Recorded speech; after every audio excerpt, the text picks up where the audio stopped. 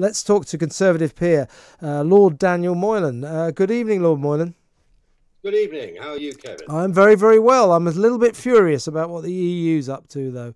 Uh, yeah, you know, we know about the COVID, uh, the disgraceful behaviour with the COVID vaccine, which continues apace. Uh, but unbeknownst to many people, sort of almost under the radar, they are playing games with us. Uh, as I just said, for example, custard creams and chocolate eclairs, uh, they are saying have to be vetted by a vet because they've got dairy products in them. Uh, sprouting potatoes and flowers from mainland Britain are not allowed to go to Northern Ireland under EU rules because the EU says they're grown in the wrong type of soil. They're playing games with us. What about we retaliate? Well, it's a great fun idea, but I don't think it's the right thing to do. And, and the reason is that we've, we've, let, we've let the EU run our trade policy for the last 40 odd years uh, to such an extent that we've now almost forgotten some of the principles of trade policy in this country. And just remember, while they're playing games with us, the people who are principally suffering from their protectionism are actually their own consumers. Because if a country makes imports expensive and difficult to get hold of, then it's its own people who suffer and its own businesses that need those imports, raw materials, worked materials, and so on, that actually suffer. They end up with less choice and higher prices. And the foolish thing to do would be for us to do the same in retaliation for that. We'd just be shooting ourselves in the foot because they were so stupid, they were shooting themselves in the foot. So I wouldn't do that at all. The way to get our revenge on the European Union for these stupid games is to recognize they're a low growth economy with very high unemployment, and that's even before the, the pandemic. And the way to get our revenge is to grow faster, have more jobs, be more economically successful. And we won't do that on the back of making imports expensive.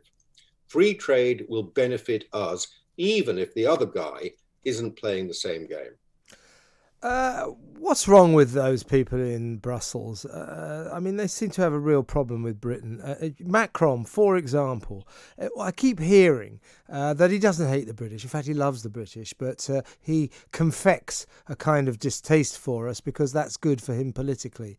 I'm not buying that anymore. I think, given his behaviour, particularly through the coronavirus crisis, his attitude to the AstraZeneca vaccine, which he's been trying to disrespect left, right, and centre ever since it hit the market. Uh, I don't think this guy likes us at all. I think what's coming out from the EU, uh, these countries, uh, Ursula von der Leyen and all her mates, uh, they just don't like us, do they? They don't like Britain. Uh, and if if we spare them that and say, well, they used to like us, they certainly don't like us for leaving their club, do they?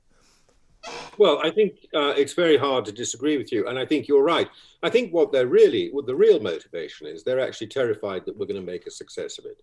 Yes, they're absolutely terrified. They've got the fifth largest economy on the world sitting on their doorstep, which, if we follow another path from them uh, and we do it sensibly, uh, and that means being open to trade and actually encouraging growth industries. Um, if we if we do that, then we will leave them behind. And then they will have nothing to say to their people. They'll have no reason to justify the existence of their jobs, their salaries, and indeed their elected positions, those of them who are actually elected. So I think they're really terrified we're going to make a success of things. And of course, the vaccine has, has really shocked them in that regard because they, they were certain that we'd be a complete disaster. And on the first big thing that happens after we leave, and we only left on the 1st of January properly, the first big thing that happens is we're already racing way ahead in vaccination. Why? Because we didn't take part in their system and we invested brains and money in, in actually procuring vaccines and making sure they were delivered to us and available to the people of the United Kingdom. So that's really sh- uh, shaken them up, especially when they're such a disaster by comparison. What if that happens in other areas? What if our, econo- our economic growth is better than theirs? Um, what if our employment rates carry on being better than theirs? Uh, they're really going to have nothing to say for themselves. And, and, and, and this spirit of fear, terror, um, uh, is turning into bitterness. Yes, I mean that's the problem, isn't it? Now I'm being sort of slightly facetious by suggesting that we get BMW to translate their handbooks into 300 languages, but it is the kind of thing that people will say in frustration over the EU's attitude towards us, which, as I said, and I'm sure you agree, is born of their fury that we've left their club and their even greater fury that uh, we are in danger of making a great success of not being in the EU anymore. They hate that idea, and as we've just discussed with their custard cream project, they are trying to make it very difficult for us. Now, jokes and facetiousness aside, it is serious. Uh, we need to have a working relationship with Brussels, not based on all this acrimony. How can we get some kind of harmony between Britain and what Boris Johnson would infuriatingly call our friends in the EU? Well, I think we. I, I congratulate the prime minister on actually keeping his cool and still being able, and because he's perfectly aware, he's perfectly aware of how impossible and difficult the Europeans are. But he is capable in public of keeping his cool and still holding out the hand of friendship towards them with every word he says. And you might find it infuriating, but of course it's very deliberate because he wants to show that we are still willing to be friends with them. Um, and eventually, this generation of, I mean, incompetence uh, will pass away, and there will be new leaders in the European Union who actually might say the sensible thing is to have a good economic relationship with, with, with Britain. I mean, this is the astonishing thing about the European Union. They have bad relations with all their democratic neighbors. You wouldn't believe that we were, you know, there's, there's, there are 700 British soldiers out in Estonia defending the EU from Russia. You wouldn't believe that for a moment. They were remotely grateful for that, um, or that we were on their side in the world. Instead, they want to truckle up to the Chinese and the Russians, but they treat us really badly, and not just us. I mean, they dump on the Swiss the whole time. They dump on the Norway. The great problem, if you're near the European Union, is being a like-minded democracy. What you want to be is a Turkey or a Russia, and then they fawn all over you. and it's amazing how they behave. Absolutely. Do they not see how the rest of the world looks at this? And thinks that they're complete. They've completely lost the plot. Yeah, their optics throughout the uh, vaccine crisis have been dreadful. Uh, they really yeah. have lost a lot of status all over the world. Uh, before you go, Lord Moylan, do you mind if I ask you uh, the big issue of the day we've been discussing here on Talk Radio is obviously the possible advent of vaccine passports. Uh, the Prime Minister has made noises that sound like he will go along with them. Uh, he said that they're, they're, a concept we should not be alien to us. Uh, he has uh, sort of indicated that pub landlords may uh, be required to uh, need identification, proof that you've had the vaccine before you can go in. That would obviously extend to restaurants and other business establishments.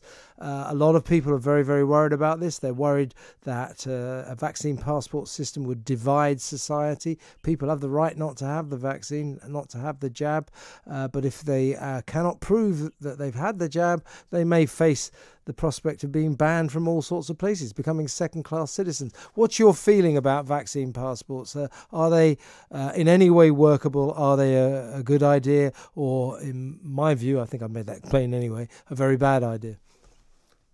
Okay, well, I've had a tetanus passport and a hepatitis passport for vaccinations. I've had the past for international travel and you slip it in with your own passport and you, you've got it there if ever you need it when you're traveling in countries where that sort of vaccination makes sense. So I've got no problem with that sort of thing. But I would not myself want to see restaurants deciding that they'll only let people in if they can prove they've had a vaccination.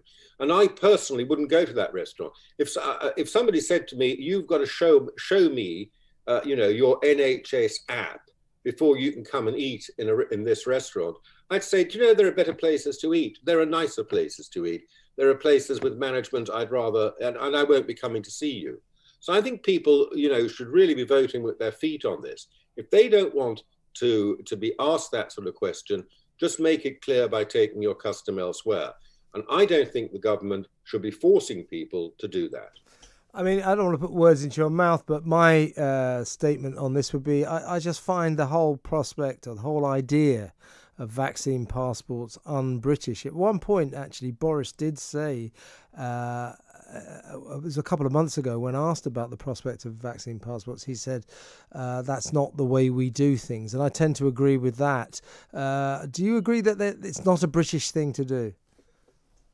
No, I think one of the great things is we only had identity cards during the Second World War for a short period, and afterwards they were got rid of not because the government wanted to get rid of them, because people just started refusing to use them anymore because the war was over. And since then, we've never had ID cards in this country, despite Tony Blair's attempt to introduce them. And I think that's one of the rather attractive things about this country that there's that element of sod off um, towards the government and when they want to regiment us. And that's what makes it rather an attractive place. So I agree with you. I think it is a very un British thing to do. Um, I, I, also don't really think it's necessary. I haven't seen the logic of what's going on here at all. Um, if, if, if, you know, if cases are low, if hospitals are um, not overwhelmed, if the number of deaths attributed to COVID or following COVID after 28 days is back down at levels like it was last summer, where we had on average seven a day for most of August. Remember, five people a day on average die on the roads in Britain. Um, so if you get back down to numbers like that, then you can't go around living in fear of another wave, you know, the, the, the, the, the sixth wave, the seventh wave, the eighth wave forever. We've got to internalize this, make it normal, and get back to normal. And it can't be an excuse for more control.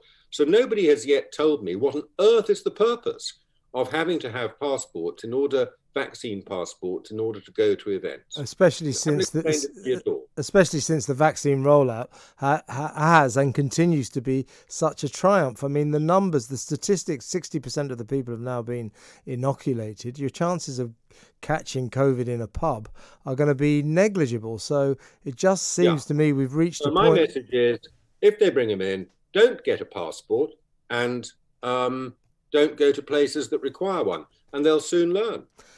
Very wise words. Uh, Lord Moylan, thank you so much for your time.